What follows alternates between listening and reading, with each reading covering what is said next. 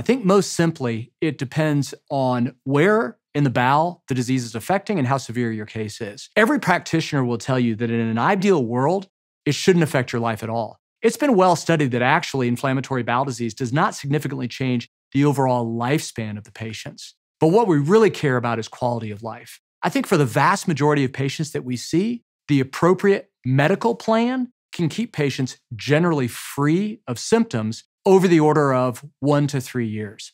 So I think the biggest ways that the disease is going to affect your life is perhaps you may need to watch a bit what you eat, you'll need to keep in touch with your treatment team, and you'll need to take medications as they've been prescribed. But if you do those three things, I think that most practitioners would tell you we'd rather you not be thinking about your inflammatory bowel disease. Let us worry about that.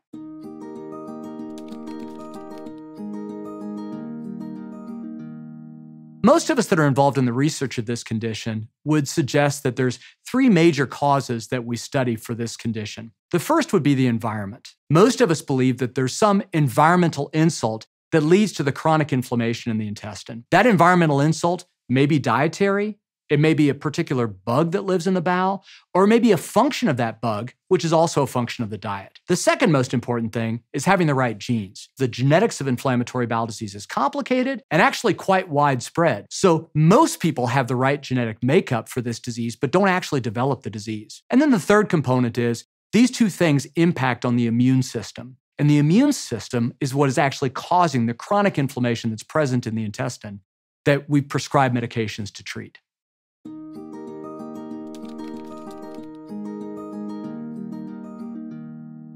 The short answer is no, it will not. There's multiple lines of research that when patients with inflammatory bowel disease are controlled against patients their same age with their same medical problems without inflammatory bowel disease achieve roughly the same lifespan.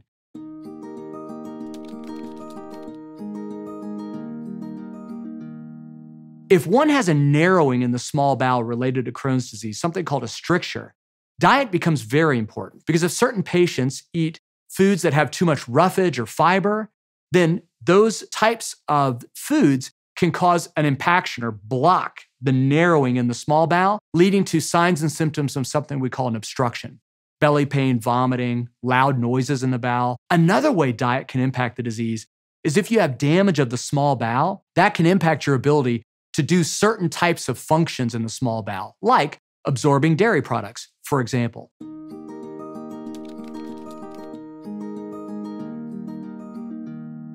The main risk factor for cancer would be colorectal or cancer of the large bowel, and that comes, we believe, from the chronic inflammation of the colon. That's why it's a good idea to maintain close contact with your treatment team, and that's why we recommend routine colonoscopies, passing the scope up into the colon, looking for those early changes associated with cancer.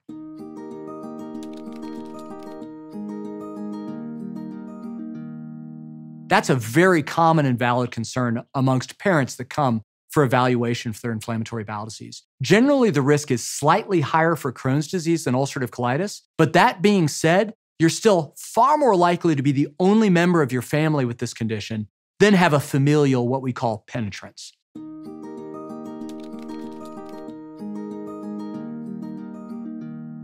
The short answer is yes. This science was actually developed for an infection rather than inflammatory bowel disease. The science has been developed over a period of about 15 years, and it really has come to age with an infection called Clostridium difficile or C. diff. Stool transplants now are actually a very common tool to treat recurrent or refractory infection with this C. diff species. Because of the excitement in the infectious disease field or the C. diff field, there are numerous trials that are running in inflammatory bowel disease.